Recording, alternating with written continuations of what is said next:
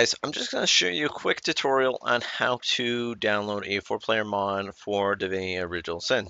Uh, let's get into it. So, we are going to go to Nexus Mods.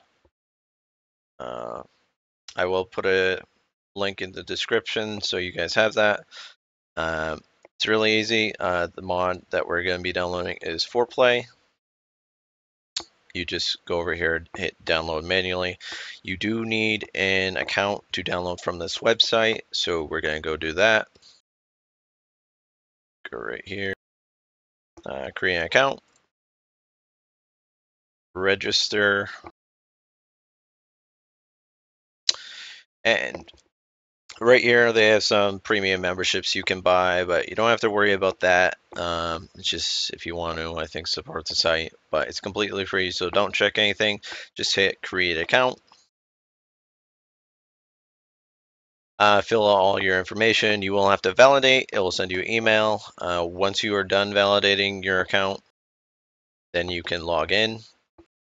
At that point you can download the mod. Um, depending on where your file path is uh, for the download, it may end up in different areas. For me, it would be uh, in downloads. Uh, it is a compressed file, so you will need a program such as WinRAR to open it. I will get you a description, sorry, a link in the description on how to download that. It's very easy. You just hit download right here. So you're going to, once you have it in this uh, program, you go are going to want to extract it. To go extract. Uh, for me, it's in local C, programs. I'm gonna go into Steam. Steam apps, common. Gonna see uh, Divinity Original Sin, data, and you just want to put it in right there. So once you have that file path, just gonna want to hit OK. After you do that, should look like this in the file. Um, then you're pretty much uh, done installing.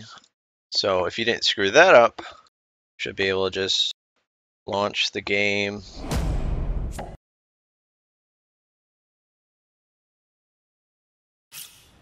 Now you're going to want to go into mods.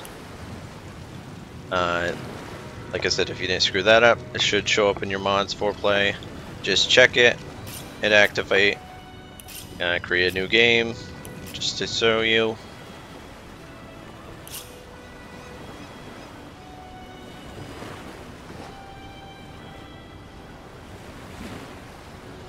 It's loading 4Play 1 and 2.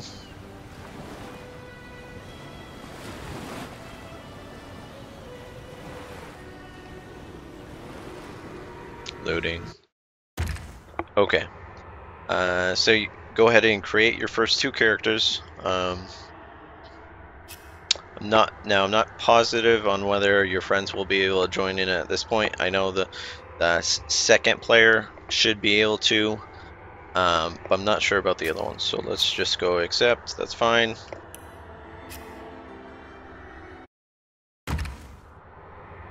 Uh, now these are the two other characters.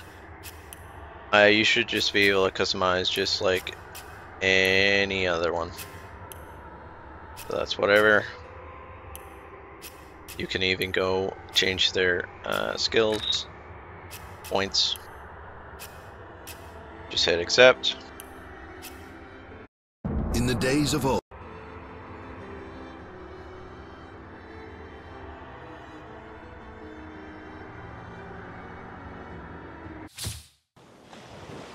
Okay, and there you have it. Four players. Um, now, I don't have someone in my game right now, but if when you do have four play people playing you, joining your game, you can hit assign characters. Um, you can swap swap whatever characters you want the player to be assigned with. Uh, and that's it. I hope this uh, tutorial was helpful for you in figuring out how to set up a mod uh, to play four player.